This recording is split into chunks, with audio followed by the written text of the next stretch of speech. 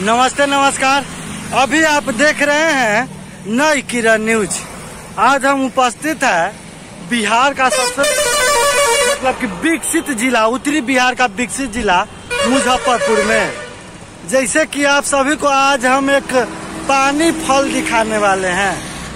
आप सभी लोग तो समझ ही गए होइएगा कि पानी फल क्या चीज़ होता है। तो बने रहिए आगे वीडियो, देखिए। तो चलिए हम पानी फल आपको दिखाने का काम करते हैं। ये देख सकते हैं यही है पानी फल। आप सभी लोग जानते होइएगा इसका नाम क्या है पानी फल?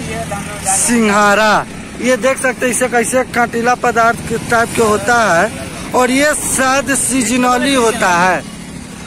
अच्छा काका इसका नाम क्या हुआ? पानी फल सिंघारा अच्छा आ, ये सीजनली होता है।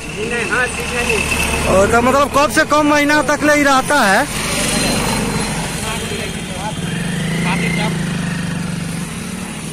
कार्तिक तक? आ, कब से मतलब कि दस दिन से ना? हम्म। ये देख सकते हैं कैसे, इधर रोड साइड देख सकते हैं बहुत सारे लोग। जैसे मुजफ्फरपुर आइए, है ना तो ये बहुत सारे लोग यही बेच रहे हैं। जैसे एक आदमी देख सकते हैं, सभी लोग इसी का मतलब कि कारोबार इधर करते हैं। यहाँ पे एक खेती भी की जाती है।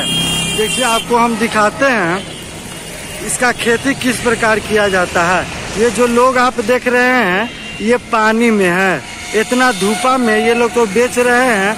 ऊपर से ये पानी में इसकी खेती की जाती है।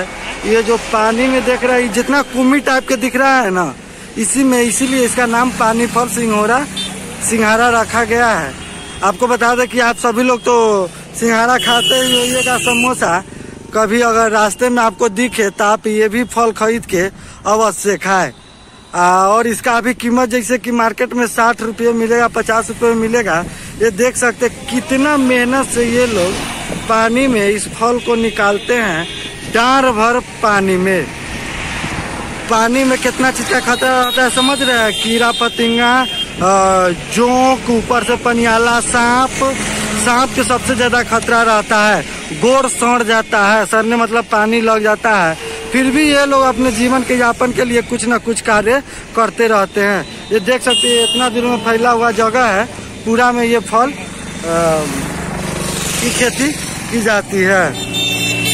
तो अभी आप देख रहे थे, नई किरण न्यूज़।